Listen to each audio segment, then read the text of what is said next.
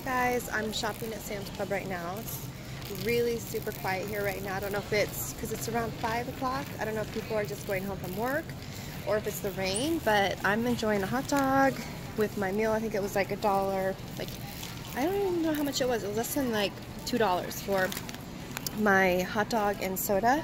So I'm just cruising the aisles, getting some good stuff, trying to find some cute things, getting groceries, but I'm loving that it's not crowded at all. Look how cute that is for $14.91. The um, utensil set. So I'm going to show you guys when I get to my trunk, or not, not my trunk, when I get to my um, car, when I'm loading is what I meant to say. Um, I'll show you what I get, okay, from Sam's Club, what I haul today.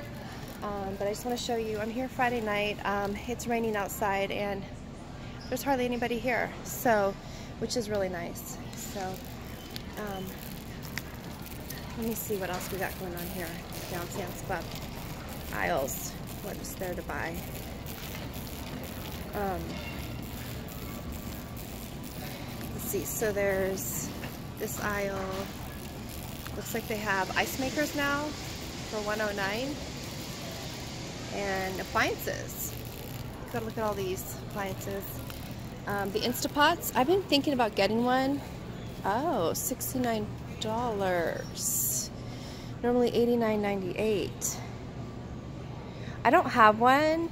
Comment below if you guys have one and what you think of it because I am not much of a cook, I'm being honest. So I'm thinking this might help with my um, ability to make better meals, you know what I mean? I also want to get an air fryer. Does that, you know, pressure cooker thing have an air fryer in it? I don't even know. Look at this one's compact for $40 air fryer. I was looking at something like that on Amazon. Okay guys, so I'm gonna get going here so I can get some groceries and enjoy my hot dog and my soda before it gets cold because it doesn't taste good when it's cold. But um, I'll talk to you guys soon when I'm um, out at my car, okay? I'll see you guys real soon. See, it's so empty here right now. I'm loving it. Okay, talk to you guys soon. Hey guys, I just left Sam's Club. I'm still out here, Sam's Club. It's dark now and I'm to show you really quick because it's kind of raining and I have um, I got I have my kids ice cream and food right here little snacks little fun snacks. But I'll show you what I got really quick and then I'm gonna hit the road so I can get home and get this stuff unloaded because it's gonna get cold. Um, ice cream's about to melt and I'll show you why. Okay so I got Nutri-Grain bars. These were ten dollars like $9.98 I spent 123 total. These were in a box that I used for my icy you'll see why in a second. I needed a box to box the ices and bring it home for my kids. So I was thinking um, outside the box, literally, because I needed the box to carry the ices in. Okay, I got naan. These were $4.98, I believe. These are so good. And then I picked up raisin bread. These were, I think, $5.98. Um, I picked up bananas. Those were around 150-ish. This was 198, the half and half. The salad was 298.